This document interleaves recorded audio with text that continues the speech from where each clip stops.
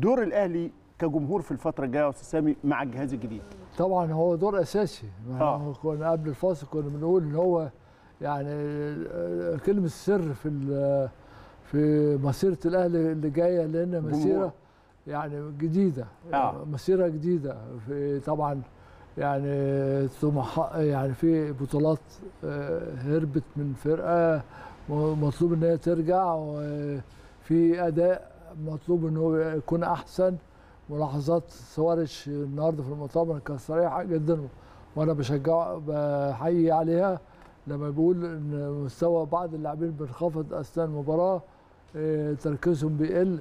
دي بيخلينا نطمن إن فرق إن اللي جاي أفضل. فبالتالي يعني يعني الجمهور لازم يكون له دور إيجابي كمان في مسانده الراجل.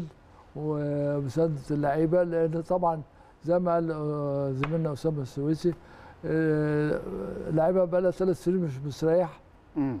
محتاجة تلتقط أنفاسها بس طبعا آه، يعني الباور اللي يطلع عندها من الجمهور هيساعدها في اجتياز المرحلة الجاية دي. مرحلة حسم البطولات لأن قربت كتير يعني إحنا بنتكلم آه، في شهر شهرين هيكون عندك بطولة والثانيه والثالثه. فدي آه، ده آه، في رصيد اللاعبين من ناحية وفرحة للجماهير. صحيح. فبالتالي أنا شايف إن الجمهور لازم يكون في ضاء باكينج للعيبة والجهاز الفني الجديد وي- ويصبر عليهم شوية مش كتير. صحيح. طيب آه، محمود الحقيقة يمكن واضح جدا من كلام آه، ريكاردو سواريش إنه لما التقى مع الكابتن خطيب الكابتن خطيب قال له الاستراتيجية بتاعتنا والهدف الواضح بتاعنا البطولات. طبعا. وما أقدرش أعفي ابدا الإعلام من المسؤولية في التأثير سواء الإعلام اللي بيساند النادي الأهلي أو الإعلام الآخر اللي تقديرك لمشاكله إيه؟ إعلام المضاد. المضاد. آه طبعا. آه. في مخطط بدأ من وقت ما أعلن النادي الأهلي التعاقد مع ريكاردو بدأت حملة لتشويه الرجل. بأمانة حملة بعيدة عن الأخلاق أخلاقنا ومروءتنا وكلام بت- بتشبيه واختلاق account وهمي وضرب هدفه واضح وصريح. امم عاوز أقول إنه الهدف ده يعني في جملة من التدليس والخسة بغرابة شديدة جدا مم. أنا شايفها. يعني مش لاقي سبب امم مش لاقي سبب إيه ليه ليه الكلام ده يا جماعة؟ إعلام زرع الأشواك. آه. أز- واحفر حفرة عشان يعني هو جاي علينا يعني عاوز يشوف يعني كفاية بقى. آه. كفاية اللي اتاخد هنفكر في اللي جاي.